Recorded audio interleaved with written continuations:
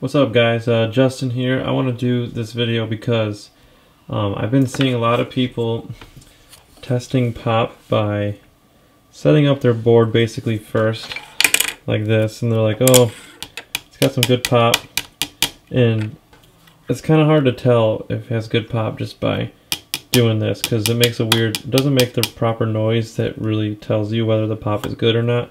So I want to show you uh, how to a good way to test the pop basically.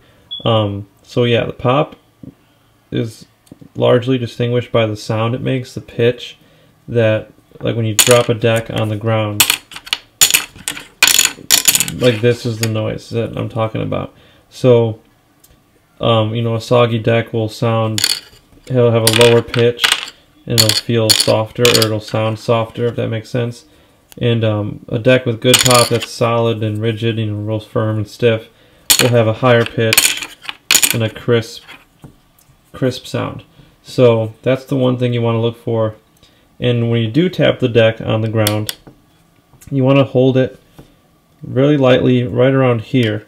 And then what you want to do is kind of just like drum it against the ground.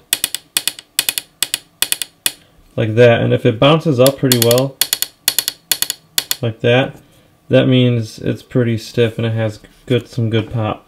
And of course you could try like bending the deck and you'll you'll notice that it's um really solid and it'll so yeah so that's what basically what you're doing. Just like that. So this would be an example of a deck that has some good pop and it's mainly because this particular deck has all maple plies which is usually the best wood you want to put in a deck for strength.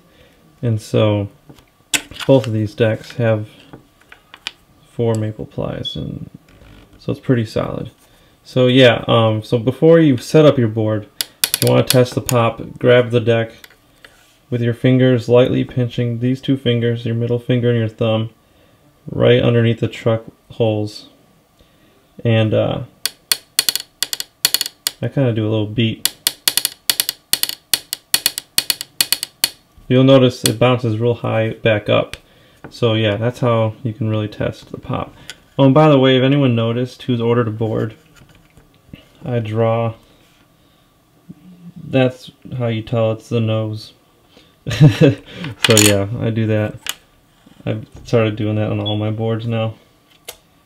And a little way you can tell, and I do that so you can tell what the width is, and that's how you tell what the mold is, of course.